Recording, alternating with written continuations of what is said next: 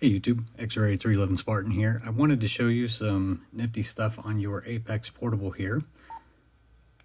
As you see, I've got channel shortcuts set up on my radio. And how you do that is you select the channel, press and hold a key, and then once you short press, ta-da, it goes right back to that channel. So I'm going to switch over to CPS and show you guys how to do that. Right, so setting this up is actually pretty straightforward in CPS. Connect your radio, fire up CPS, all that fun stuff. On the tree of fun, you're going to go under radio ergonomics, controls, and then keypad. Now this will work for portables and mobiles with a full keypad. What you're going to do is assign MS functions to whichever key you want here. My personal preference is to match the number with the key. So MS01 is on key 1, 02 is on key 2, etc. However you want to set that up is up to you.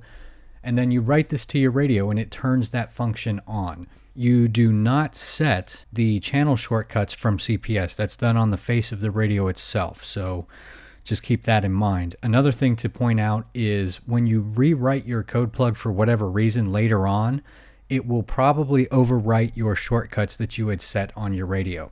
It doesn't turn this function off, it just clears them out. So you would have to set them again.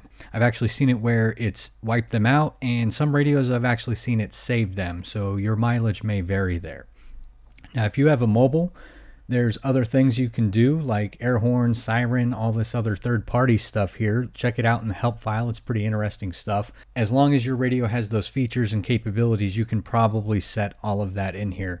So this codeplug is for a portable. It's an APX 8000. So you see I'm limited to just keypad digits, the mode selects, and third party stuff, which I've got nothing going on with any of that. So if your radio's got extra functions, features, and whatnot, you might see something different in there.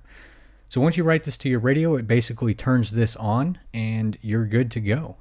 Alrighty guys, thanks for watching as always. I truly appreciate it. Hope you stay safe out there and I'll see you on the flip side.